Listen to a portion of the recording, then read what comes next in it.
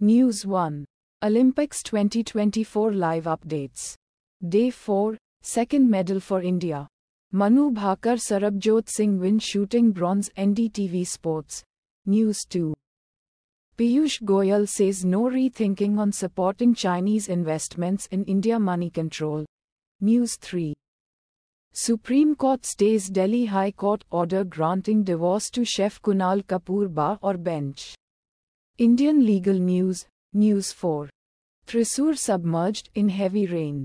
Tourist spots including Athirappilly closed. Kerala News, Onmanorama Onmanorama, News 5. Howrah Mumbai train derailment live. 2 killed.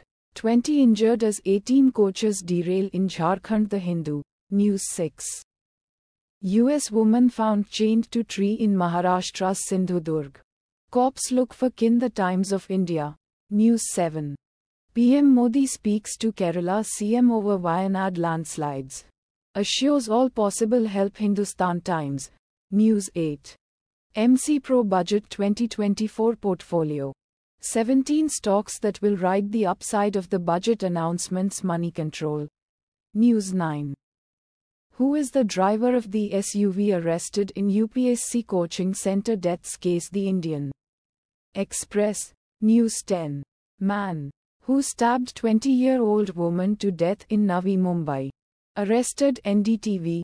Automatically generated.